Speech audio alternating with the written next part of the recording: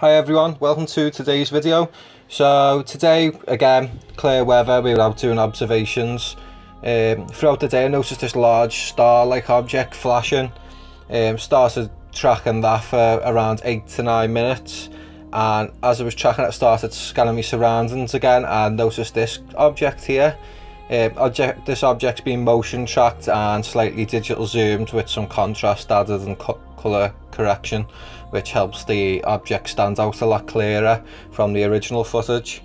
So I'm just going to upload this first and then the first object I captured I'll motion track and post and then I'll post the full version so if anyone wants to watch 30 minutes of these objects moving around and flashing they can do um, that'll be the, obviously the original file so yeah very interesting object. I'm not too sure what it's trying to be but is it I don't know if it's a letter or a digit or it's just uh, absolutely not and it's just a weird shape.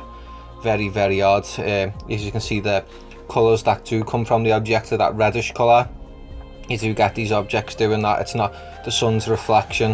Um, it's a very bright seems to come out to the surface these, these objects and it's always like a reddish color um, I've, I've actually caught a similar object to this last year sometime if anyone wants to go back and have a look again um, it was very very similar twisting and turning very odd.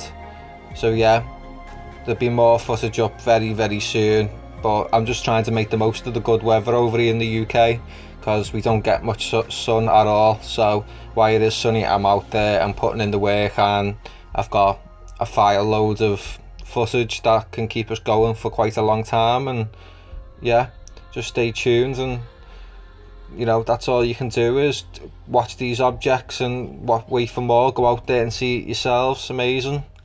Yeah so hope you all enjoyed and have a great day. Bye